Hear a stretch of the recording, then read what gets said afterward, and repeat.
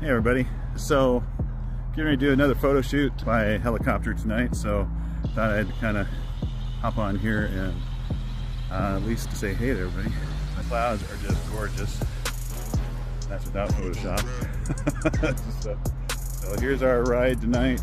But so basically we're doing some uh, holiday lighting, uh, photo shots, hopefully go over um, like Bellevue, Seattle area, Space Needle. Uh, uh, looks like somebody's coming in here right now, so.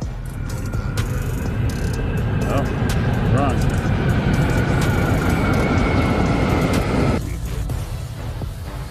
Cool stuff. Always happening here.